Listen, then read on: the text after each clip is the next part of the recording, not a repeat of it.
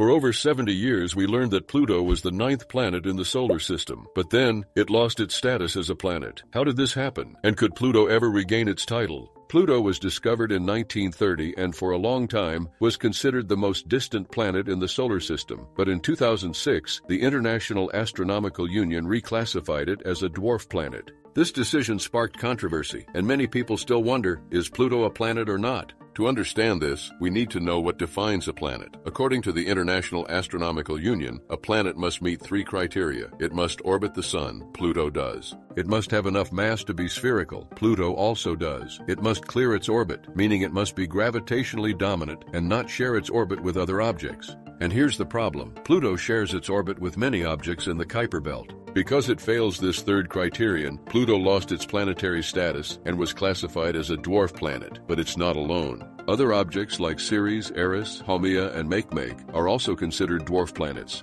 But does this mean Pluto is less important? Not at all. In 2015, NASA's New Horizons spacecraft captured incredible images of Pluto, revealing icy mountains, valleys, and even possible geological activity. The debate over the definition of a planet continues. Some scientists argue that Pluto should regain its planetary status. Could that happen in the future? What do you think? Should Pluto be considered a planet again? Leave a comment and subscribe for more space mysteries.